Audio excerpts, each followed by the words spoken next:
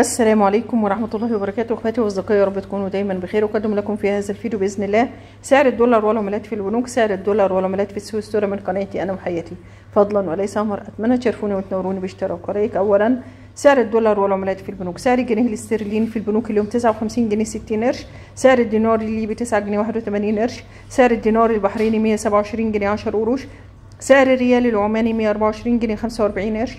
سعر الدينار الأردني 67 جنيه 60 قرش سعر الدينار الكويتي 155 جنيه 56 قرش سعر الريال القطري 13 جنيه 16 قرش سعر الدرهم الإماراتي 13 جنيه 4 قروش سعر الريال السعودي 12 جنيه 77 قرش سعر اليورو 51 جنيه 20 قرش سعر الدولار اليوم في البنك سجل 47 جنيه 91 قرش. أسعار الدولار والعملات في السوق السوري من قناتي أنا وحياتي سعر الدرهم الإماراتي 13 جنيه 10 قروش سعر الريال القطري 13 جنيه 21 قرش سعر الدينار الكويتي 156 جنيه 17 قرش سعر اليورو 51 جنيه 40 قرش سعر الريال السعودي 12 جنيه 82 قرش سعر الدولار اليوم في السوق السوداء الشراء سجل 48 جنيه 12 قرش والبيع سجل 48 جنيه 35 قرش. انخفاض في سعر الدولار في البنوك انخفاض في سعر الدولار في السوق السوداء بشكركم إخواتي بتمنى لكم الخير دايما في الختام دايما.